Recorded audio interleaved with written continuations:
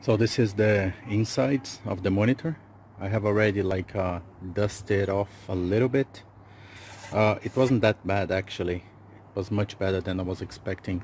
So now it's just like a matter of uh, know carefully uh, I'm using like a, a cloth just to actually clean the parts up. It is uh,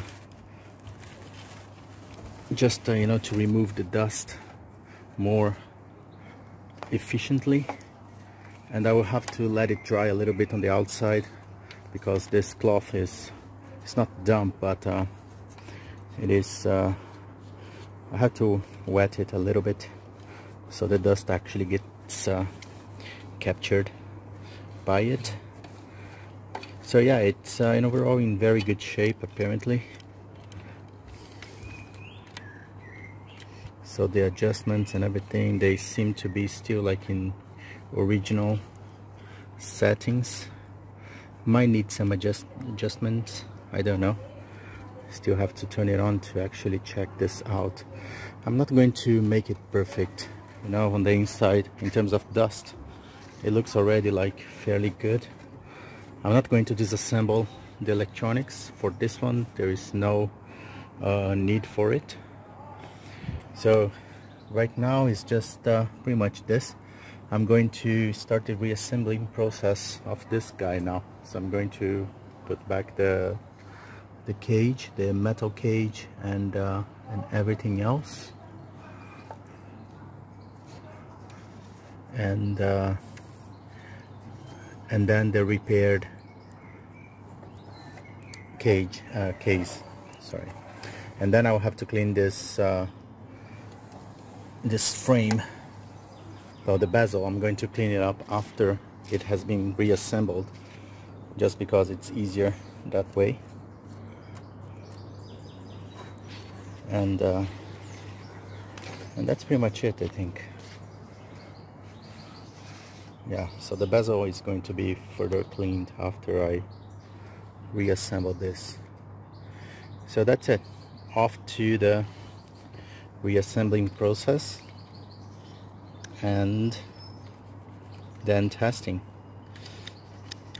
Yeah I know I should have tested before you know having to go through all this trouble but the truth is I don't like to turn on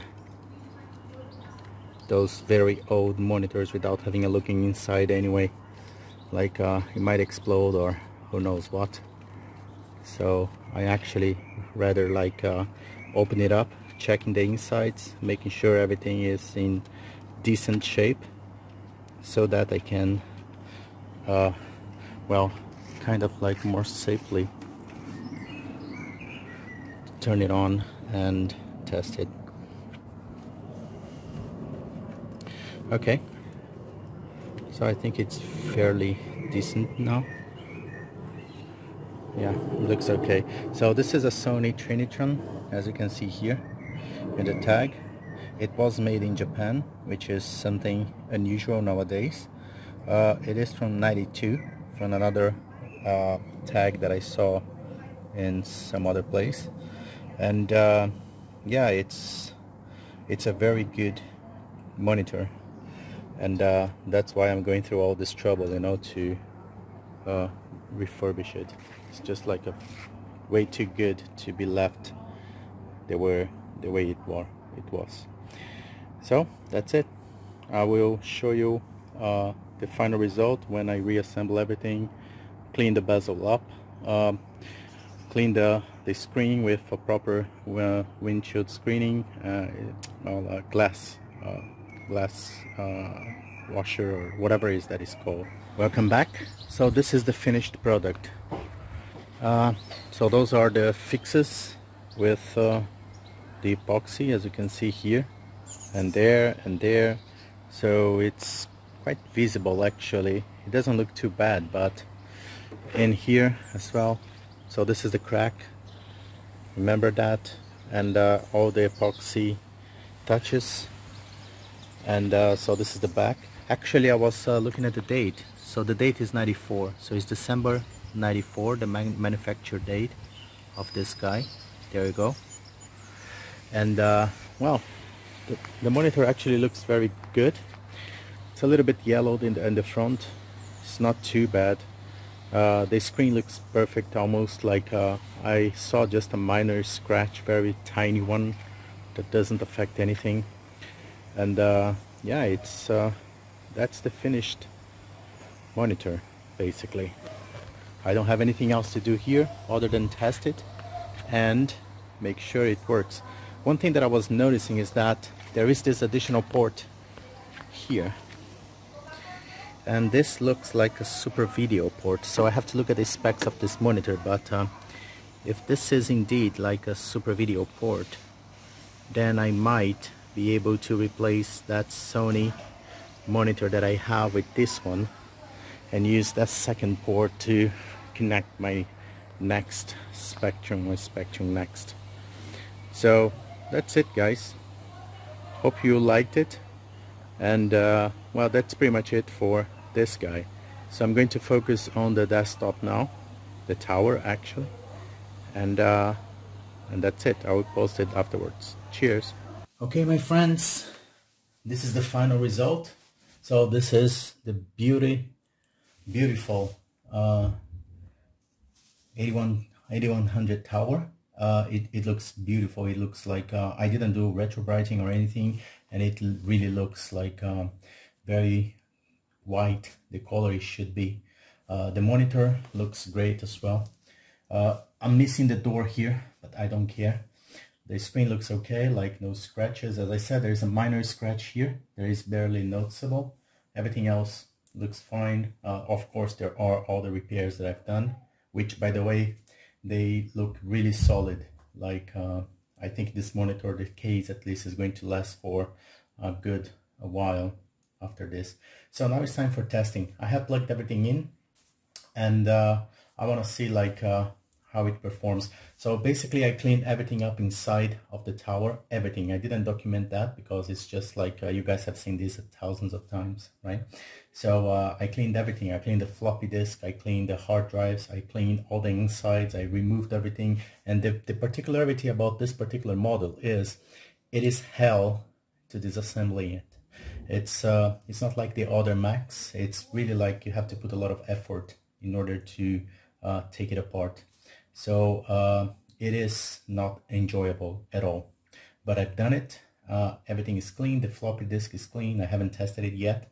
So it is now uh, smoke test time. So let's see if it works. So uh, let me see if this button here works.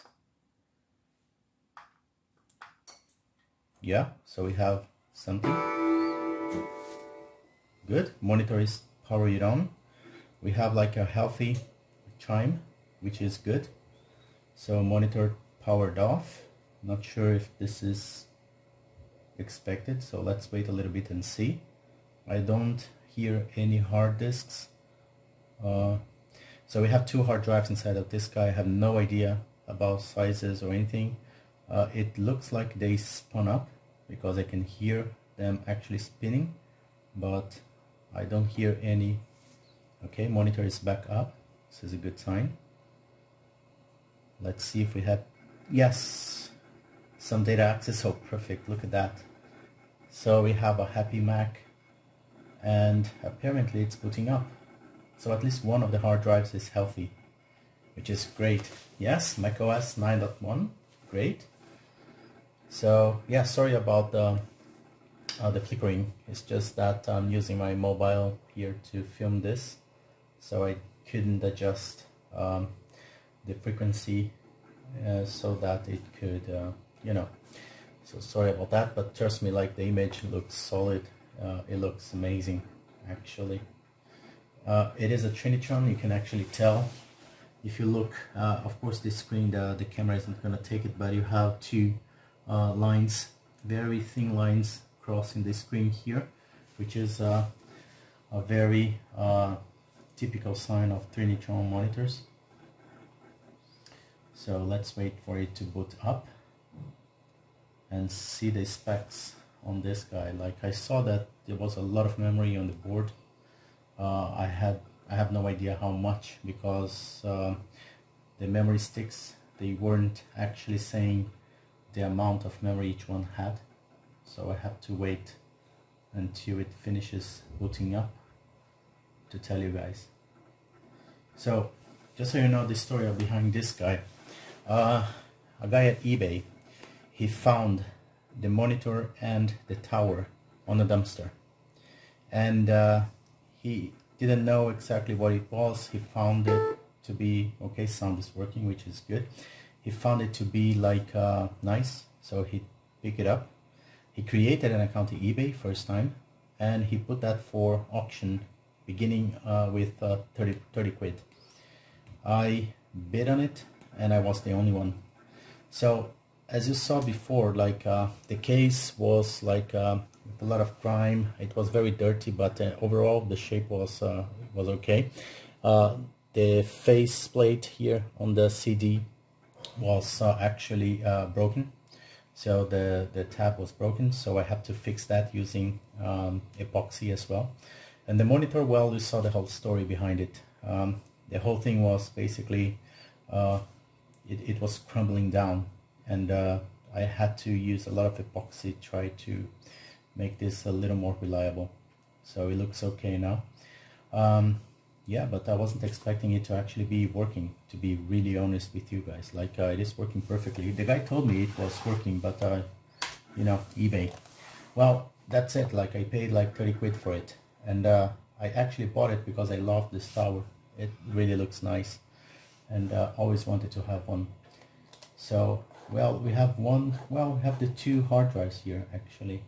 So let's let's use the Apple profiler to see what we have here. So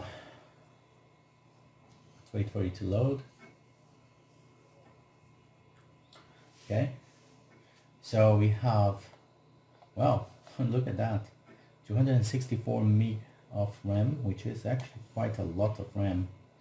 Um, okay, what else? So it's a PowerPC 601 at 100 uh, megahertz. So yeah this is a 8100 slash 100 um, what else? So let's let's look at that at the discs so let's see the size of them so both are SCSI drives.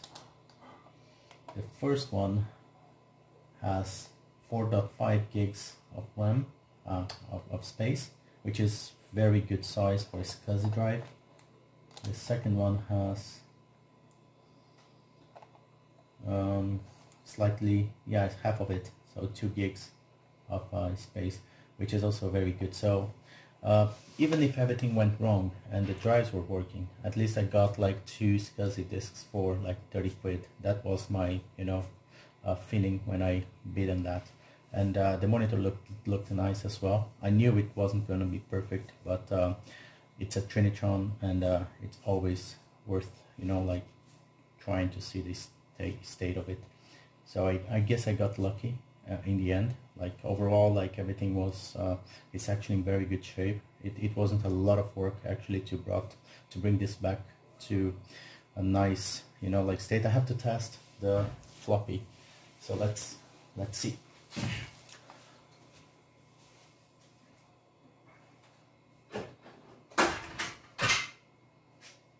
Okay so It would be nice to test the CD-ROM as well. So I think I have something here.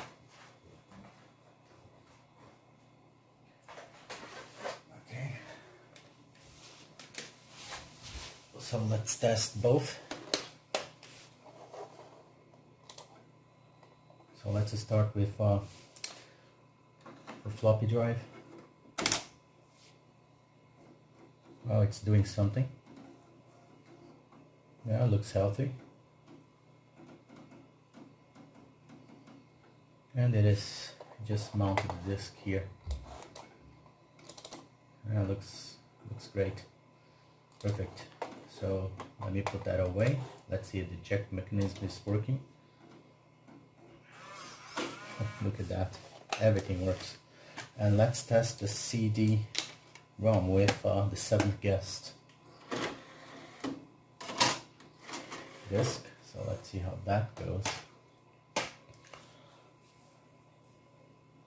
And then after that let's take a look on the disk see what the previous owner has left for us.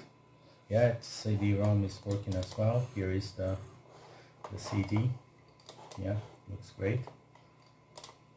Perfect. Well that's really great. Like everything is working as expected oops very satisfied. So the next thing that I might want to try is also to install the DOS compatibility card on this guy. Even though like it's not officially supported by Apple um, I have uh, read on the internet that some people were actually able to do it. So I might give it a try and if that works I might uh, take this tower as my uh, my my actual day-to-day uh, vintage Mac.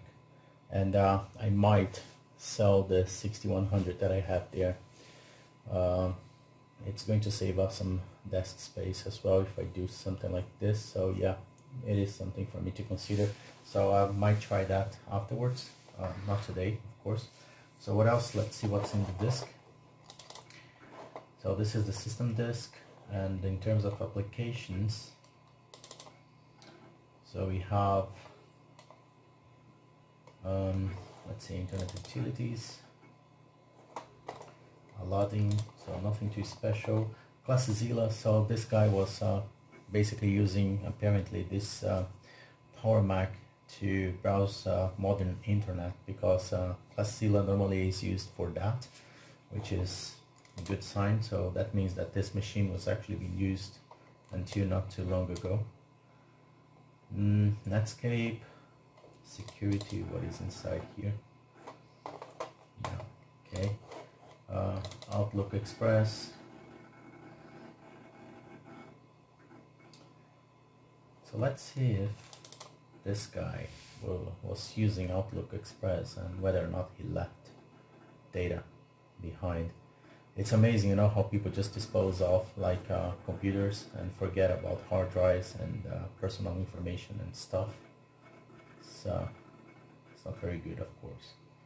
So let's see if this is the case here. I'm really amazed uh, with the quality of the image on this particular monitor. Like it looks really great. It's flat screen and uh, classic Trinitron thing going on here. Yeah it looks amazing really satisfied with this. Like it was uh, a bit of work you know to get everything uh, cleaned up and running but uh, yeah it, it totally worth it.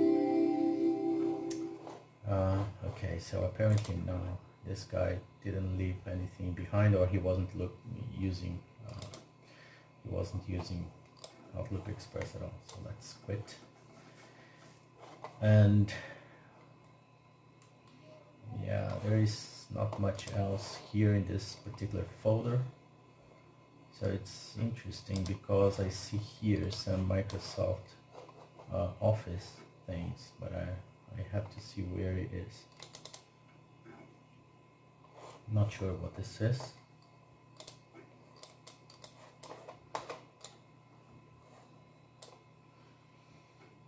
Yeah I have no idea. Maybe it's like uh, yeah I'm not gonna open it. Well, I can try this later. So documents Mozilla. No, no, nothing really. Okay so maybe inside of the systems folder.